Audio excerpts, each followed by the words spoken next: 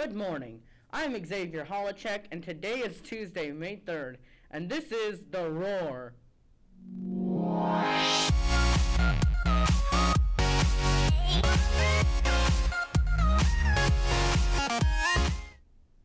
Congratulations to the state forensicators who rolled their way to second place at state over the weekend. Sophomore Jerry Wong and junior Gabby Smith took first in their events. Junior Nate Martin placed second. Junior Mackenzie O'Donnell placed third, along with sophomores Hannah Kirby and Preston Thomas. Other state medalists include senior Kara Fort and Zach Atkins, juniors Abby Veneziano and Allison Wagner, and sophomore Jake Marino. The Drama Club is hosting a night of Broadway Saturday at 7 in the auditorium. Tickets are $5 and go towards supporting the drama programs here at LHS. Congratulations to sophomore Bruna Darley, who has been nominated for a Blue Star Award from the Starlight Theater for outstanding performance in a featured role for her part in the musical Urinetown. Darley was cast in another role, but was asked to take part of Little Becky Two Shoes the night before the performance. Check out the article about her performance and nomination on mainlineonline.com. The AP Government and AP US History summer assignments are now online. If you planned on taking AP Government or AP US History next year, please stop by Miss Legree's room before May 6th to get the classroom code if you did not attend the meeting last week. On Thursday this week, all students need to bring their school issued iPad, charging cable, charging block, and school issued case with them to school. iPads will be collected on the last day of finals, but this Thursday is the first part of that process. Yearbook distribution day is coming. We will have the books here for the signing day this year, and if you are not if you have not purchased one yet, you are almost out of time. There are 50 copies left, and they are first come, first serve. So stop by the main office and get one today.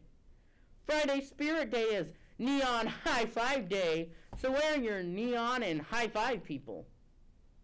Now it's time to check in with the lunch club to see what's on the lunch menu for today.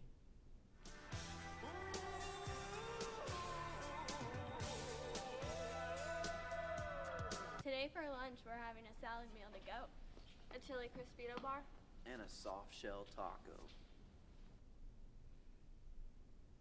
Mmm, that's tasty-licious. I can't wait for lunch. now on to world news. It's primary day again. Donald Trump and Hillary Clinton look to extend their leads over their closest competitors in the Hoosier state as Rep- Republicans and Democrats in Indiana head to the polls. This next story isn't about trap music, but TRAPPIST is the name scientists gave a dwarf star about 40 light years from Earth that has three Earth like planets circling it. Maybe that's where trap music comes from. You never know. In news from around the nation, if we lived in Detroit, we wouldn't be here today.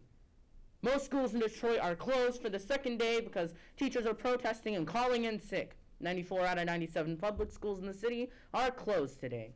Teachers learned last week that they may not be paid after June 30th, and more than 1,500 teachers have called in sick as a result.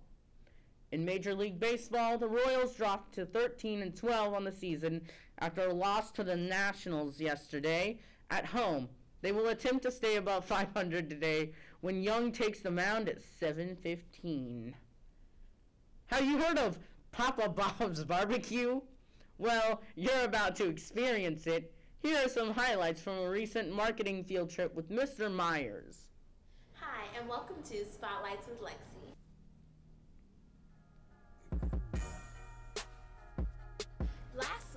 Mr. Myers took his marketing classes to Papa Bob's Barbecue, where two of his students took on the Ultimate Destroyer.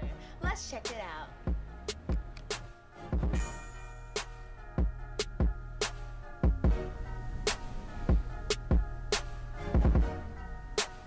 We ventured to Papa Bob's Barbecue in Bonner Springs to look at the aspects of marketing at the barbecue place because they're nationally known for their eating challenge called the Ultimate Destroyer from Man vs. Food, where Adam took on the Ultimate Destroyer and failed. Um, so we looked at the marketing aspects there, and we had two students, Matt Parks and Tate Berry, who took on the challenge. Unfortunately, both of them made it to the wall of shame because neither one were able to finish the uh, excessive platter of meat and french fries within the 45 minutes. So that's what we did yesterday.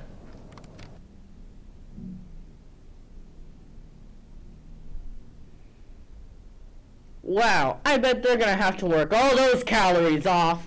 Now let's go to LHS Sports and see what's going on. Come out tonight to support the Lady Lion swim team in their final home meet of the season. They take on DeSoto, Maur Hill Prep, Mill Valley, St. James, and Washington at 4:30. Also, tonight the Lady Lion soccer team travels to Gardner Edgerton. JV plays at 4:30 and varsity plays at 6. Good luck, Lady Lions. That's all we have for today.